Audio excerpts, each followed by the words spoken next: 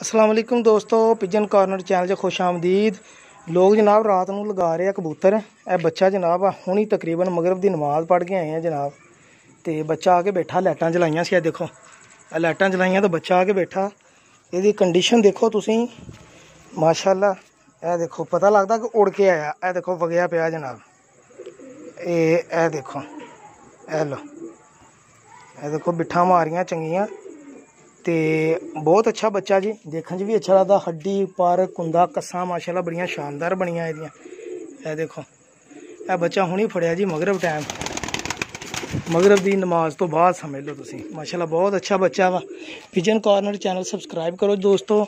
ਇਹਦਾ ਫਾਇਦਾ ਇਹ ਹੀ ਹੈ ਇਸ ਤਰ੍ਹਾਂ ਦੇ ਰਾਤ ਨੂੰ ਹਨੇਰੇ 'ਚ ਗਲਤੀ ਨਾਲ ਬੱਚੇ ਡਿਗੇ ਜਾਂ ਕਬੂਤਰ ਡਿਗੇ, ਤੁਹਾਡੇ ਮਿਲ ਸਕਦੇ ਤੁਹਾਨੂੰ। ਤੇ ਅਗਰ ਚੈਨਲ ਸਬਸਕ੍ਰਾਈਬ ਕੀਤਾ ਹੋਇਆ ਜਨਾਬ, ਤੇ ਜ਼ਰੂਰ ਇਨਸ਼ਾਅੱਲਾ ਮਿਲੇਗਾ।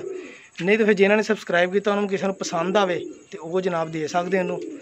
ਇਹ ਕਿਤੇ ਮੇਰਾ ਖਿਆਲ ਕੋਈ ਚੌਥੇ ਪੰਜਵੇਂ ਪੜਦਾ ਸੀਗਾ, ਲੇਕਿਨ ਕਿਸੇ ਨੇ ਪੱਟ ਦਿੱਤਾ ਅੱਗੇ ਲੈਸ ਹੋਣ ਲਈ। ਬਹੁਤ ਹੀ ਅੱਛਾ, ਸ਼ਾਨਦਾਰ ਬੱਚਾ, ਮਾਸ਼ਾਅੱਲਾ। ਹੱਡੀ ਬਹੁਤ, ਮਾਸ਼ਾਅੱਲਾ, ਲੰਬੀ, ਜੋੜ, ਤੰਗ ਤੇ ਮਾਸ਼ਾਅੱਲਾ ਚੰਗਾ ਉੜਿਆ ਬੱਚਾ ਵਾ ਤੇ ਪ੍ਰਵਾਜ਼ ਕਰਕੇ ਆਇਆ ਵਾ। ਇਹ ਹੁਣ ਫੜਿਆ ਵਾ, ਮਾਸ਼ਾਅੱਲਾ। ਇਹਨੂੰ ਜ਼ਰਾ ਦੇਖੋ, ਪਸੰਦ ਕਰੋ ਤੇ ਵੀਡੀਓ ਲਾਈਕ ਤੇ ਸ਼ੇਅਰ ਲਾਜ਼ਮੀ ਕਰਿਓ ਤਾਂ ਕਿ ਮੈਂ ਅੱਛੀਆਂ ਅੱਛੀਆਂ ਇਸ ਤਰ੍ਹਾਂ ਵੀਡੀਓ ਬਣਾ ਕੇ ਲਗਾਉਂਦਾ ਰਵਾਂ। ਬਹੁਤ ਸ਼ੁਕਰੀਆ ਪਿਜਨ ਕਾਰਨਰ ਚੈਨਲ ਸਬਸਕ੍ਰਾਈਬ ਕਰਨ ਦਾ। ਅੱਲਾ ਹਾਫਿਜ਼